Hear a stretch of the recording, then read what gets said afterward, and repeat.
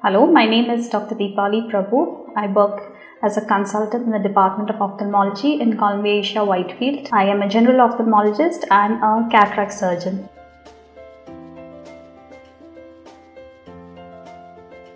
Cataract surgery nowadays is mostly done with the latest technique which is called phacoemulsification. The chances of complication in phacoemulsification is are very less. The kind of complications that we see can vary from minimal blur in the vision on the first post-op day to serious complications like a posterior capsular rupture or corneal edema. Most of the complications can be managed with the help of drops and as well as oral tablets some, however, need intervention in the form of a second intraocular surgery.